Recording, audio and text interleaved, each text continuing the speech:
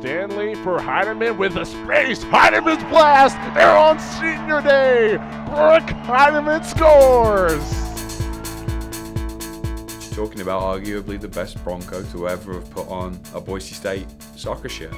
And for a program that's starting to build a bigger and bigger history, that's a massive statement. It's the kind of accolade I'm glad Brooke's getting. Things that aren't talked about with Brooke are the fact that she was a struggling academic as a freshman, and now she's one of our leading academics. She sets the bar in things that are the Bronco way. What it's what it is to be a part of Bronco Nation, I think, is so much more than just the winning. And there really isn't a player like her, and I think this is an acknowledgement of something almost non-American in that if it's not statistical, it's very hard for people to grasp. But what she does is not really um, counted. It's not really, you can't really put your finger on it, but the goals that she scores, when they score, they're worth 10 goals. Uh, they're so poignant, so pivotal, not just to a game, but to a season. Um, I remember after we played Air Force this uh, past season, Larry came up to Brooke, pulled her aside from the, the high fives at the end, wrapped her up in a hug. These guys don't know each other at all. And he whispered in her ear, I am glad you are graduating.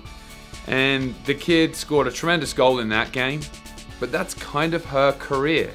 Poignant goals, influences on games that you can't stop. Anytime that there was a segment where she could work to get better, she used that time purposely to get better at adding an element, adding a layer um, adding something to her game that she saw or that we as coaches maybe helped her identify as areas that she could improve in. I mean, you could talk academically, you could talk leadership, but just out and out as a soccer player, she took every opportunity to not rest on what she had already accomplished and achieved, but yet tried to work and push to get better. When you look at a player like Brooke, who's managed to expand her influence over a program for a, a four year period, You've got to look beyond statistics, especially when it's not like a Janelle Flores who you can literally say gives up this amount of goals, makes this amount of saves. Um, her influence on the team in so many different ways, I think, is being acknowledged. She's a truly a special kid, and you just have to spend a minute with her, and you'll figure that out. Uh, to go through the kind of wars that we've been through, a season that fell short this season, how she handled that, um, how she carried her teammates, how she conducted her teammates and led them.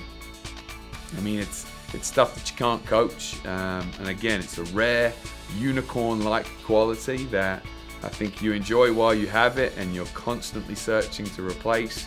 Uh, from a coaching standpoint, uh, she truly is a Bronco great.